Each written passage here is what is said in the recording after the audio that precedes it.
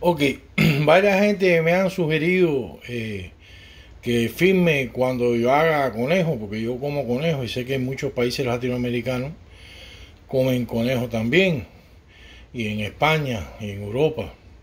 Entonces yo aprendí a hacer varias formas el, el conejo.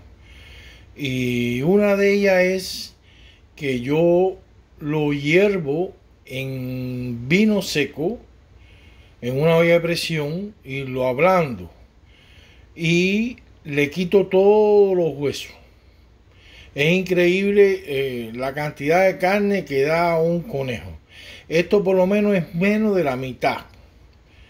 Entonces yo lo hago, una de las recetas que hago es en salsa. Y entonces a mí me gusta mucho. Entonces después que yo le quito todos los huesos, por supuesto, y como había dicho, ya tiene nada más, esto es la mitad de un conejo. Y, así, le gusta a mucha gente que yo, me decían que, que, no comían conejo porque le daban asco los huesos. Y es una manera distinta de hacer.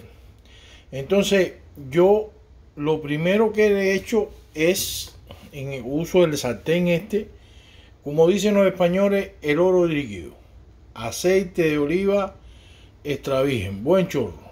Ahí. Entonces, después uso dos cebollas, una blanca y otra morada. Y dientes de ajo, como media cabeza. Hago así y lo echo todo así. Entonces, le echo un medio ají o, pimiento. En este caso, el que tenía aquí naranja da lo mismo, el sabor es igual. El rey de los dioses, el vino tinto. Un vaso grande de vino tinto. Se lo echo ahí.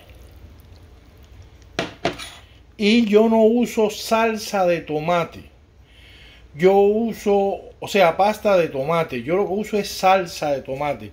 En este caso, la preferida mía, eh, puede ser al gusto.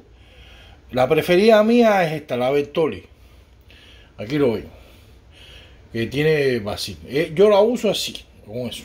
De hecho, buen como medio pomosi. Más o menos. Ahí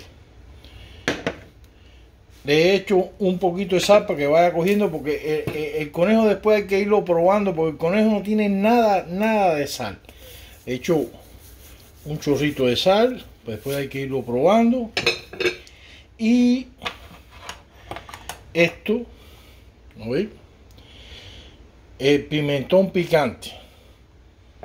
Yo le meto una cucharadita de esta de plata, ¿no veis? Así, de pimentón picante. Después, cuando ya esté más la salsa un poquito más cuajada, yo le echo la misma cucharadita de pimentón dulce. Porque me gusta, me salió bien la receta así. Y así me gusta mucho. Le da mucho ese sabor. El pimentón que uso dulce es el pimentón ahumado. De... Después, después se los voy a enseñar. Ahora ya eso es lo que lleva ahora. Ahorita vemos cómo va el proceso.